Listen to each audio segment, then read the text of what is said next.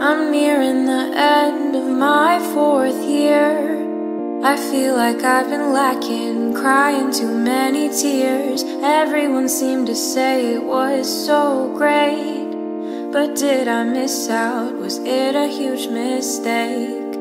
I can't help the fact I like to be alone. It might sound kinda sad, but that's just what I seem to know. I tend to handle things usually by myself. I can't ever seem to try and ask for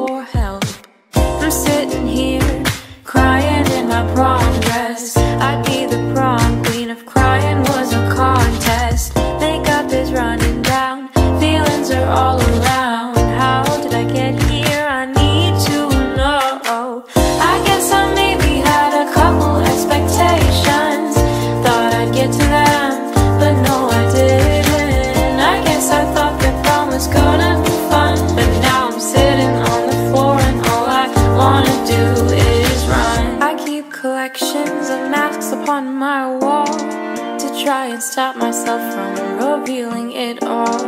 Affecting others is the last thing I would do. I keep to myself though I want to break through. I hold so many small regrets.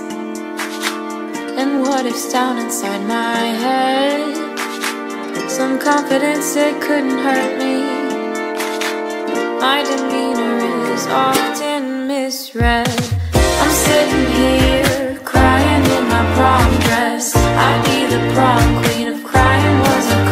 test. Makeup is running down